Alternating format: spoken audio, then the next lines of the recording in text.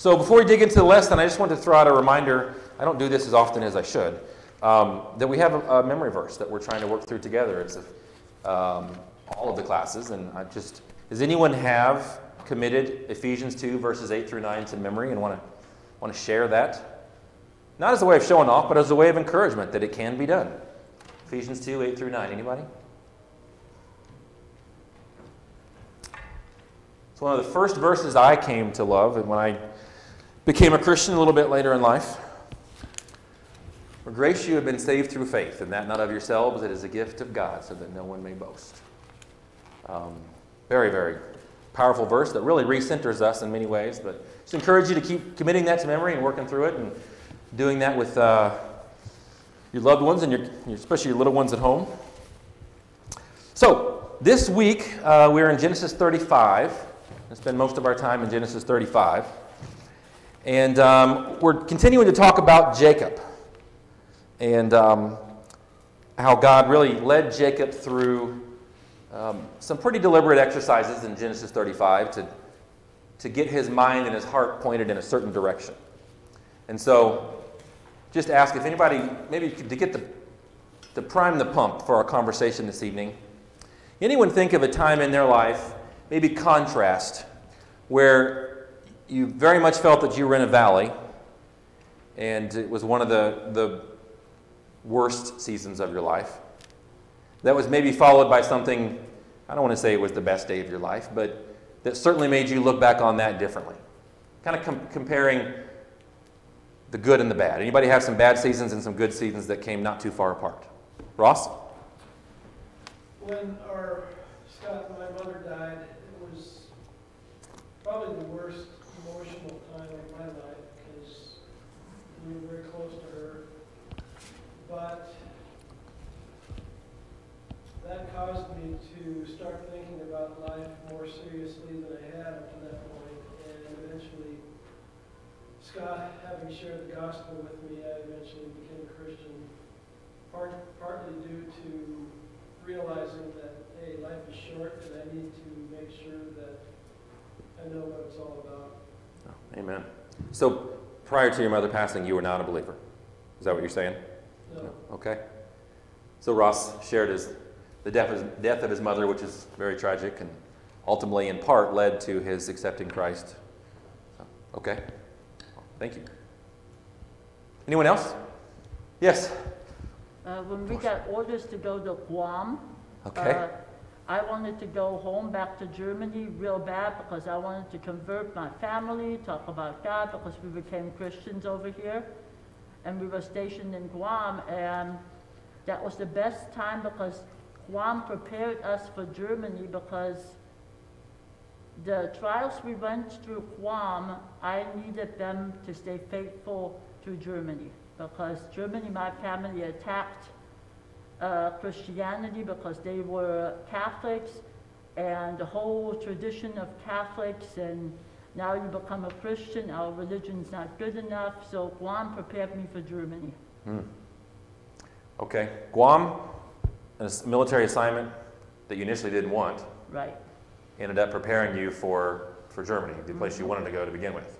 But had you gone there right away, or you said it wouldn't have gone as well as if you had gone to Guam first. Right. Okay, yeah. I think many of us who've got a military background can say, we don't have to go too far between assignments to think, oh, dear God, the world is ending. You've forgotten about me. To, things aren't so bad all of a sudden. Um, yeah, that, that wheel spins pretty quickly for many of us.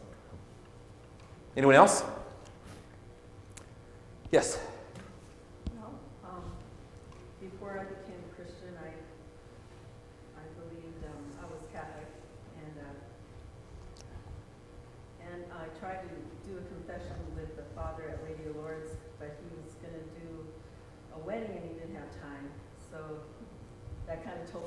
God must not have time for me. so I was pretty discouraged. And, uh, and then a Christian uh, took the time and uh, taught me, uh, showed me scripture, everything by scripture, that I, you know, I had sin and that if I wanted to be accepted by Christ, I had to be, I had to believe in Christ and confess Him and repent and be baptized for the forgiveness of my sin. And, um, and, and when I do that, Acts ten thirty-four tells me that I was accepted by Christ. It wasn't me accepting Christ, it was Christ and God accepting me, Amen. because I submitted to his will to be baptized where the blood of Christ is at in waters of baptism. And when we were looking at Ephesians two, where it was talking about, you know, by grace we're saved, and, and we go a little farther, it says in twelve that, you know, in, before times we didn't have Christ, but then, and thirteen, but now the Christ, um, that in, in Christ Jesus, you are sometimes, you were far off, but now you're made nigh by the blood of Christ. And the blood of Christ is in the waters of baptism. And Amen. I'm so happy that, uh, I submitted to that and, um, and, and, and have been baptized in the church that Christ built. Amen. The, um, the reason we're starting tonight's lesson out this way is here's the end goal for tonight to ask ourselves how consistent and faithful are we in viewing the good times the same way we view the bad times? Do we, do we at least make every effort, humanly speaking, and leaning on the Holy Spirit, to walk into the good as the same way we walk into the bad? Um, that's, that's where we're going tonight. That's what we want to ask ourselves. When the bottom falls out, are we as faithful as when we're on a mountaintop? And um, which, by the way, it was, I think, really by God's providence, Matt's lesson on Sunday was really rich in that regard. And we had a, a great conversation on the way home about mountaintops and valleys and the difference between the two and what it means to, to level our lives. And um, so we'll, we'll kind of get into that here this evening. So um, that's where we're going tonight. We're going to spend our time in Genesis 35. If anyone's there already, can I get someone to uh, nice and loud read the first eight verses? Genesis 35, 1 through 8. Scott? Thank you, brother. And God said to Jacob, Go up to Bethel and settle there, and build an altar there to God who appeared to you when you were fleeing from your brother Esau. So Jacob said to his household and to all who were with him, Get rid of the foreign gods you have with you, and purify yourselves and change your clothes. Then come, let us go to Bethel, where I will build an altar to God, who answered me in the day of my distress, and who has been with me wherever I have gone. So they gave Jacob all the foreign gods they had and the rings in their ears, and Jacob buried them under the oak at Shechem. Then they set out, and the terror of the Lord, the terror of God fell on the towns all around them, so that no one pursued them. Jacob and all the people with him came to Luz, that is Bethel, in the land of Canaan. There he built an altar, and he called the place El Bethel, because he was there that God revealed himself to him when he was fleeing from Israel. Okay. Oh, sorry. Sorry. nurse, Rebecca's nurse, died and was buried in the oak outside Bethel. So it was named Alon. Okay. Why would this be included in Scripture? Why is this story here? We're going to get to the wrestling in a minute, which is always a fun story, but why do we think this is included? Why does God do this with Jacob?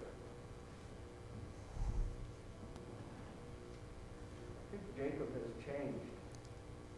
He's, he's a different guy than he used to be. Hmm. So Scott said, Jacob has changed. He is very much a different guy than, than he used to be prior to this set of experiences he had with God. Um, that, that's an important part that I think we should discuss with this is we changed over the course of our life, prayerfully for the better. Um, Hannah and I read a, a marriage book about a year, a couple summers ago maybe. It was, it was a really rich, good meeting, good book about marriage, and it talked about how everybody changes as we go through life. And one of the, the things that the husband and wife wrote together, and one of the things that the wife said was, I've been married to five men, and they've all been my husband. They've all been the same guy. But he's changed so much over the course of our 40 some years together that um, it's a different person than it was the guy when I met. Um, Jacob would certainly fit into that. He's a, he's a different guy. And, and I, I think that's certainly a part of this, maybe the biggest, the, the part of God leading him on this and sending him back is so that he can reflect. Reflect on what God has brought him through and the fact that he's, he's different. He's changed as a result of it. The question here for us to kind of sit and contemplate is in addition to our salvation, what are some specific things that God has done for us? And the more specific, the better. How have you been blessed? I'll start. I have a wife who loves me in spite of me many times. Right? I'm a cantankerous guy, and she loves me anyway. Uh, I have a job I love. I actually like doing it. It's not just a way to put food on the table. I actually enjoy going to work most days. I'm not going to lie and say every day, but most days. Um, fairly healthy. I got good shoes that work for me most of the time. Stuff I don't want to take for granted. I, uh, I remember I went on a mission trip years ago, and they gave grace thanks before we drink water. I was like 16, and that made a big impression on me. I, I don't think I ever thought about drinking water the same after that. But I never thought about it at all before that. So, what about you? What are we specifically thankful that God has done for us?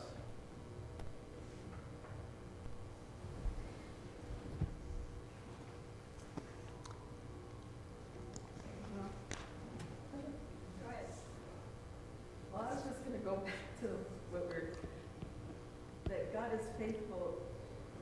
If you, um, when I first, after I became a Christian, a lot of people didn't think I was gonna stay a Christian. Yeah? And, uh, I did, because I love God, you know, at first you just want to change, and then you learn to love God.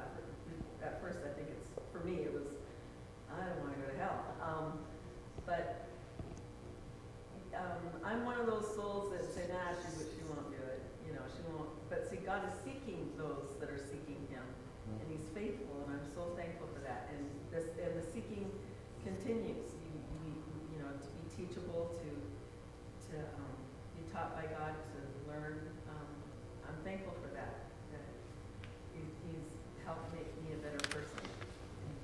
And then you want to share it. You want to be someone's Philip. Amen. Amen. Okay. Ross. I am sitting in a room full of people, well, not full, but a room of, with people who I can honestly say, if I asked any of you for help with something, and if you could help me, you would. What a blessing that is. And by the way, back at you, if you need help, I am fully retired now, I have more time. Really, ever give me a call. Amen. I mean, to have someone that would come out at 3 in the morning and not expect to get paid for it, don't take that for granted. That's a blessing. Yeah, I'd rather not come out at 3, but you know. We, yes, Beth. Um, I guess when I, I had gone to different churches of mine, and, uh, they were really involved, you know, when I found this one, I found all the, everybody that loves you so much and comes and helps you out, I mean, I said, yeah, my husband, I don't think I would get through. Mm. It was, I got some support, it was really nice. Yeah. You know, one of the things that we need to get from this exercise is we can have a ten, all of us, no guilt implied at all, all of us can do this, have a tendency when like the bottom falls out and things get difficult to respond with some version of why me, which is, I think, in some ways human. It's human nature. It's not godly. It's human. It's human nature. Um, but really, a more helpful question would be to flip that and ask, well, why not me? I'm a sinner too. And, and I have, have not earned my salvation any more than you have. And so tough times have came my way. I live in a fallen world. I live in a fallen world. So why not me? And, and oh, by the way, I, I'm not going to hell one day. You know, and I got good shoes in the meantime. Uh, I don't mean to be flippant, but seriously, I, I think there's a lot of resilience in, in thinking that way. Um, so the follow-on question to this is, how are we deliberate about worship? Like worship and gratitude. Not just seeing worship as four songs we sing on Sunday morning, but a lifestyle that's in response to what we know we've received beyond what we deserve. Any examples? Like, what do you do? I would love to hear. What, what do you do that helps you stay thankful and have a posture of worship? Ross? I had a medical appointment today at the VA, and the ladies that dealt with me, my doctor, and my uh, people who were working on the staff there. I'm trying to trying to be in this habit, and I actually did it today. Whenever anyone asks me how you doing, and my usual answer is, I'm so blessed by God, it's not fair to most others. But it's, it's, it's an easy way to say, I love God and I appreciate what he's doing in my life. Mm. Amen. Okay. That's deliberate. That's practical. I like that. What else? What do we do? What do we say? What do we think that gives gratitude more real estate in our mind? Bob. You know, I, I heard a sermon years ago, um, I think everything's getting to be years ago, but.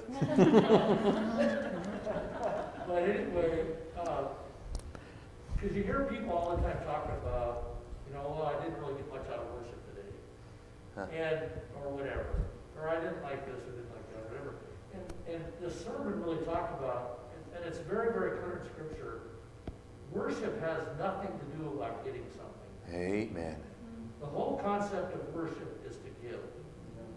And, you know, the old concept to give, you know, you get what you give. Uh, and what's, and so I think that, you know, anybody that knows me, I generally, I mean, I love to worship. And I, I love to sing and, and I love, I mean, I just love to worship. And in fact, somebody told me recently that, that, and I, whoever they were talking about, I me very much. Because they claimed that, they said that, well, I think Bob's a charismatic.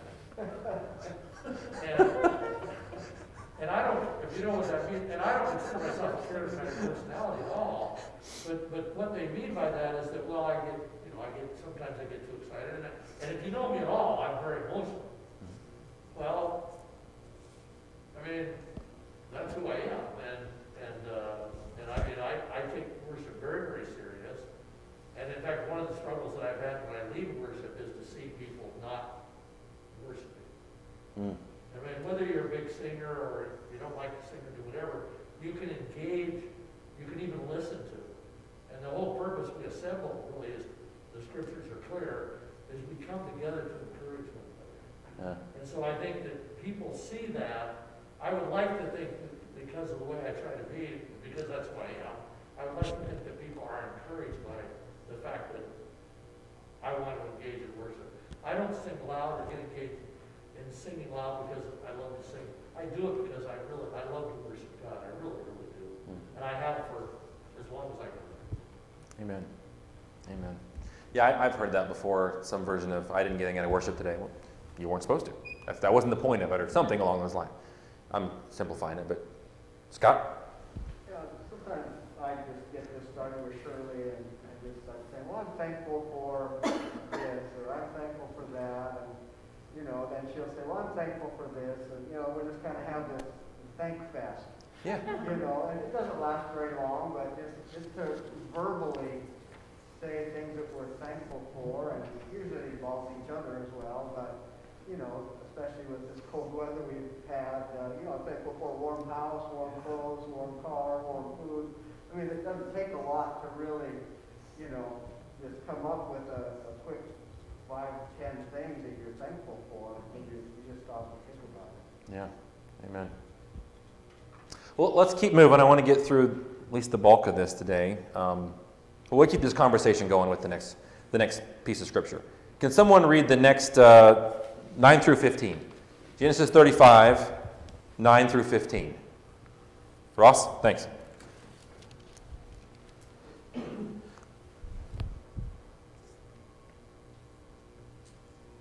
right, I'll be there quickly.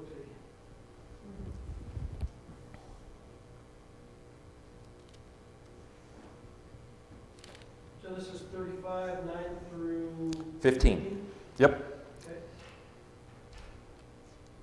After Jacob returned from Padan Aram, God appeared to him again and blessed him. God said to him, Your name is Jacob, but you will no longer be called Jacob. Your name will be Israel. So he named him Israel. And God said to him, I am God Almighty. Be fruitful and increase in number. A nation and a community of nations come from you, and kings will be among your descendants. The land I gave to Abraham and Isaac I also give to you, and I will give this land to your descendants after you. Then God went up from him at the place where he had talked with him. Jacob set up a stone pillar at that at the place where God had talked with him, and he poured out a drink offering on it. He also poured oil on it. Jacob called the place where God had talked with him Bethel. All right. So at this point, Jacob has been through quite a few valleys, uh, some of them self imposed, as some of our valleys are self imposed. Uh, but God's showing him here, and someone said, I think Scott said it pretty early on, that while this very much changed Jacob, in many ways we would hope for the better, it also showed Jacob that God hadn't changed at all, which I think is, is important for us to stop and remind ourselves from time to time. That's really good news that God hasn't changed. We're, we're the ones who do the changing, He, he doesn't. Um, and to show the, just the wholesale nature of Jacob's change here, what, what does he do? It's fairly common in Scripture. What happens to Jacob here? Gets them a whole new name. Gets them a whole new name. And there's a lot of examples in Scripture through, of, of doing that. And I, I love just the imagery that comes from that. Because we, we I think with, from a good intention, a good place, we tell people, you know, you need to like turn over a new leaf and turn a corner and get in a better part of your life. But the gospel is, that's not what the gospel says at all. It says you, you, you need to die. Like there's, there's no improvement to be made upon this. There's no leaves to be turned over. You just, your sinful self needs to die and then be replaced by an entirely new person that, well, that God creates in you. Um, and he shows us that over and over and over. And many of you know some of our kids are adopted. One of the things I just didn't really expect was they got a new birth certificate when the adoption was over and finalized and legal and done, they got a whole new birth certificate. And if you look on that birth certificate, we are listed as the birth parents. And no, there's no indication on that thing that these kids were ever adopted. That's, that's a gospel sermon in itself. We didn't see that coming. I didn't expect that. Um, but that's how we're, that's exactly, that's exactly how God sees us in every way. No indication whatsoever, right? That there was a, a previous sinful version. God knows it's there, of course, because he had to, you know, kill it and revive it with something much better. But um, that's what happens with Jacob here. And God's weaving in some instructions that He's been giving him all along. And so, one of the questions here, uh, and again, they're wanting us to be, I want us to be very specific. Because He tells Jacob some things like, you know, go here and be fruitful and multiply and build, build this pillar and use this as a reminder. What are some things in Scripture that God specifically tells us to do?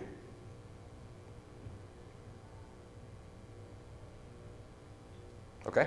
One of my favorite scriptures when I first became a Christian, it's in Psalms, I don't know where, it says, when that, when you said to me, seek ye my face, my heart said to you, my God, thy face I shall see. And I just love that. Okay. That's what he wants, just look, Seek Him, look for Him. look for his ways.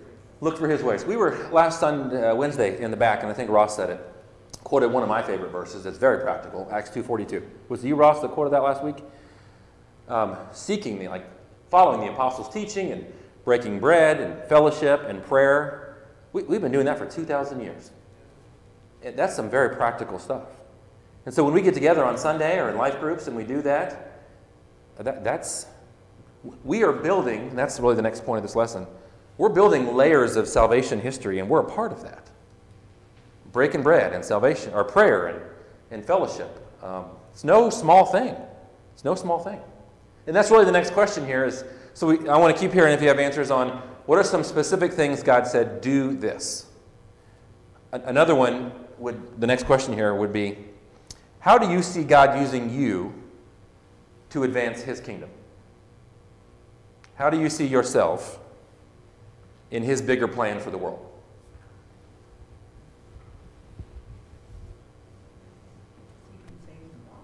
Seeking and saving the lost? Yep, okay. Bob? Well, I, yeah, I'd say that definitely, and- one of the things is, you know, that I thought of a minute ago is, you know, scripture says, let no one unwholesome word proceed from your mouth, only such a word is good for edification, for the building up of one another in love. But, I, anybody knows me knows I love to play golf. Well, most of the guys I have settled on playing golf with the last couple of years aren't Christians. And in fact, a couple of them have pretty bad mouths. But I know over the course of a couple of years, you know, they begin to notice that I don't laugh at certain things, and I don't say the same things that they say. And, and, and I, and especially this last fall, it seemed like there was several of those guys were really, you know, beginning to really kind of change their own, their own terminology and saying things, and, and they would, you know, and again, and then eventually doors open up to where, because people actually appreciate that you aren't that way, They do, yeah. but they're really, you know, and their wives, you know, if you go to dinner with them, and their, their wives and that kind of stuff, most, you know, there's a few, there's exceptions to it, but I know most of their wives don't really appreciate some of the things they say in their language.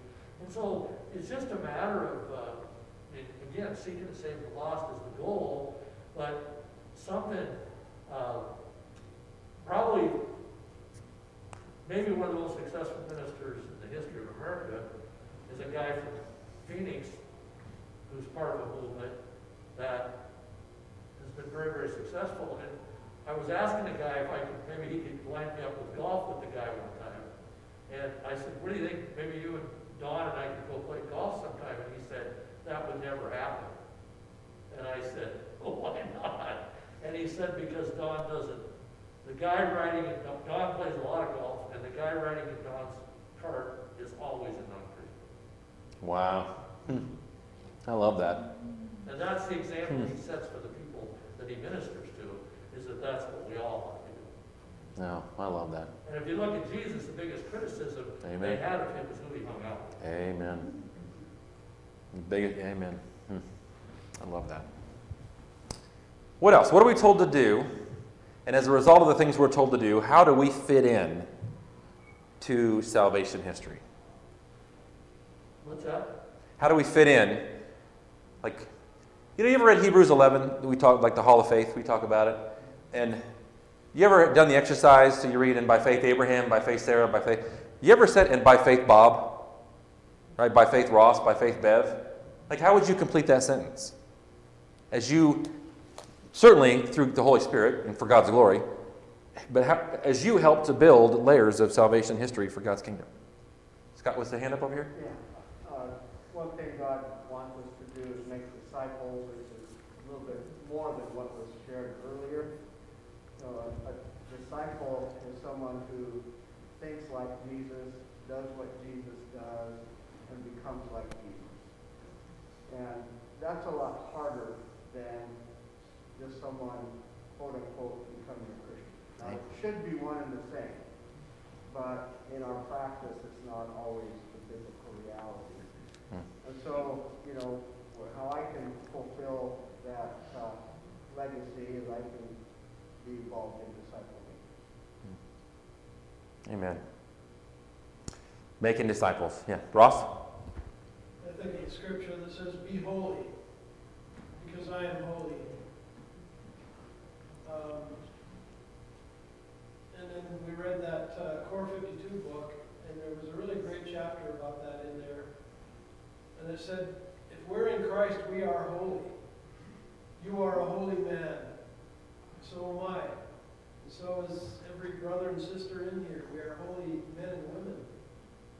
But I think that scripture tells us, you are holy, act like it. Act like it. Act like it. Yeah. Amen. Yeah. I think holy and saint, which really the same root word there, are some of the most misunderstood and misused words in the text because we act like it's something we have to earn. In, in many traditions, that's how they treat it. Um, but it's, it's just what we are, and then we're supposed to go act like it as a result of that. Yeah, amen. Anybody else? The, the follow on question, we got a few minutes left here, was I'm not going to read the rest of the text because we're kind of short on time, which is fine. We've had a good, I think, good conversation.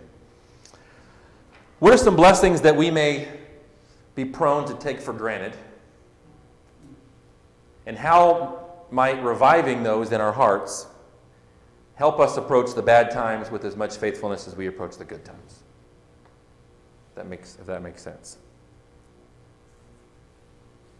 What do we take for granted? And how might that, yes? Um, I think one thing being involved in like my demographic, which would be like mothers of school-age children, one thing that I see a lot is that um, it's trendy to talk bad about your kids. like moms will get together and it'll be, oh, and I just can't stand them and, you know, and I, well, you know, COVID, they were home all day and it's like, those are your kids.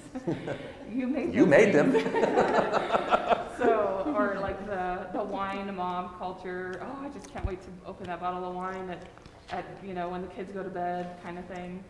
Um, that, I think that's kind of taking blessings for granted because those are like really core blessings and talking about disciple making. Those are the very first disciples that you make, not first, but one, some of the most important ones, you know, and that's kind of like the true test of whether you can make a disciple is can you raise, you know, children who stay being believers. That's what I think anyway. Mhm. So I think that's a big thing that I see and that I do. Sometimes I'll take my kids for granted, and they're some of my biggest blessings too. Amen. And, and the whole point of this, if I can just kind of jump on top of that, this D6, the whole point of this D6 program is discipleship starts in the home. And we believe that 100%. But uh, if I can just be, be honest and probably state the obvious, that's one of the hardest grounds to disciple. And I, and I say that because they see you at your best and your worst. You know, in, in some ways, I can kind of pick and choose when I spend time with certain people. Like my 12 year old doesn't have that luxury. And so he sees, he doesn't just see good dad, like up here on stage, you know, he, he sees bad dad, mad dad, you know, dad that throws a word out that he shouldn't say. And, and I got to disciple that. And then that's, that's hard. And so that reminder that these little creatures that we made, you know, are going to be some of the most powerful disciples we unleash into the world. That's a, it's a blessing. It's also uh, some guardrails, you know, some bumpers for my behavior prayerfully. Bob. Yeah, I really appreciate what Michelle brought up, what you're saying is that we, something hit me, I don't know how many years ago, that we raise our children, and, you know, like, I didn't have any kids till I was in my thirties. And I've got thirty years of information that I look at my children. So I'm basically raising my children through, you know, through a whole bunch of prejudice eyes. Our children see us clearly. They, they have, they have no Wow. opinions. Yeah. They, they just see us as clear as a bell. And when that, when I realized that, I thought, oh my goodness. And, uh, and I think. Well, thanks, Bob. That ruined my night. You know, you know, you know how positive my wife is. Well, I'll tell you what, one of the best things we did, we did not allow making language, period, from day one. I mean, it was just not allowed, and you know, and you know, I remember Zig Ziglar, a lot of you have heard Zig Ziglar, you know, he would talk about the terrific twos, the tremendous threes, you know, instead of the terrible twos and the, Yeah. you know, and this kind of stuff. And, and it really is a matter of, you know, that's an attitude we should have as Christians. And it starts, like you're saying, D6 starts in the home. Mm. And that attitude that, you know, uh, and you can, you know, Scott's an extremely positive guy, him and Shirley, and you see that in their two boys. I mean, you know, Chad and, and uh, Todd, Chad and Todd are, you know, a couple pretty amazing young men with great attitudes that you can tell they were raised. And I think not just the way we talk about our kids in front of our kids or when they're not around, I think the way we talk about other people. I would say specifically the church. What someone told me early on, if you're going to go into ministry, do not go into ministry at the cost of your family. Nobody wants to say I was a 50, you know, I was in ministry for five decades and all my kids hate the church. That's not a win at all. Um, and so we've been very deliberate, and there's been frustrations, of course, some big ones. Um, but we are careful about how we describe those in front of the kids and what we say about people in front of the kids, for our hearts as well. But all right, it's a couple minutes after, and we need to stop. I'll hang around if we want to keep chatting, but we got to honor our teachers. So let me pray. God, thank you for letting us be here. I pray that we would be about making disciples, not disciples of ourselves, but disciples of your Son Jesus. May we not present ourselves as anybody's answer to any problem, but may we always present your Son Jesus as the answer to every problem. Amen. All right, go get your kids.